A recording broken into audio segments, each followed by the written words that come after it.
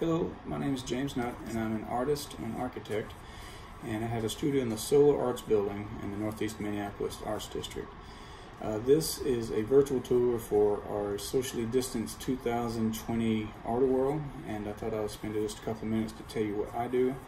Uh, mainly, what I do is watercolor, water media, ink wash, things like that. Um, things that at a certain point they're finished, and you move on to the next thing.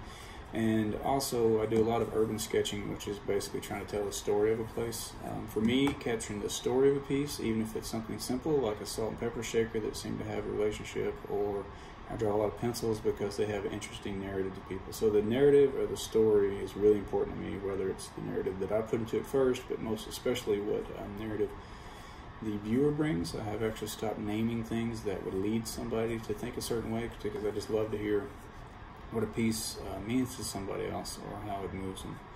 So um, once we get back together, um, or can get back together, uh, encourage you to visit uh, the first Thursdays and the Art-A-Whirls and support your local art. It's a big deal. Um, and reach out to your artist for commissions, or if you're a restaurant or a place of business that needs art, uh, please reach out and uh, we'll all get through this. Thank you very much. Hope that was good.